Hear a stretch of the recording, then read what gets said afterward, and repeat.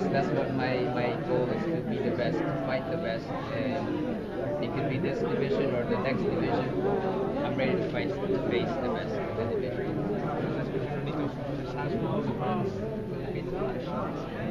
Uh, thank you. Uh, kasi, I say, uh, get, get, get, get, get, get get get eh,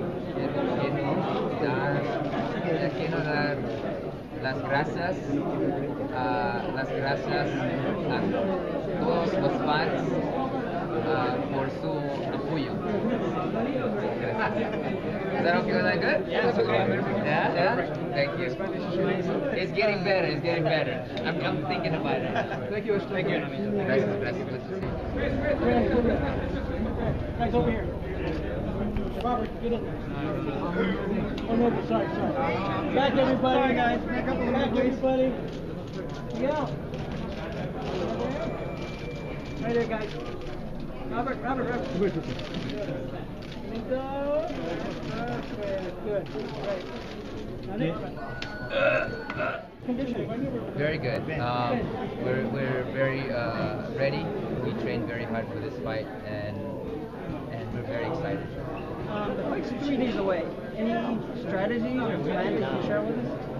Uh, you know, it's just being smart. I believe that from the beginning, um, in order to beat Nishioka, we need to have a perfect plan, and that's what we're working on. Um, as an ideal fight for you, would you rather technically fight him or would you rather brawl with him? It doesn't matter. Given the opportunity that it's better for me to brawl, definitely go for brawling. But if it's if it's more beneficial for me to be technical, then we might just go with technicality. And um, what do you feel? How do you feel about this turnout of uh, the media here and attention you're getting? I'm very happy. You know, it's it's an incredible fight. You know, you have to have that media because it's a fight of uh, the best fighter in this division, and as well as Alvarado and, and, and Rios. You know, that's going to be an incredible fight. So. Uh, we're always happy to have this type of, of support from the media. And into the camera, if you can uh, give us a plug for the fight Saturday. Uh, Uh, stay stay tuned for, for, for one of the best fights of this year.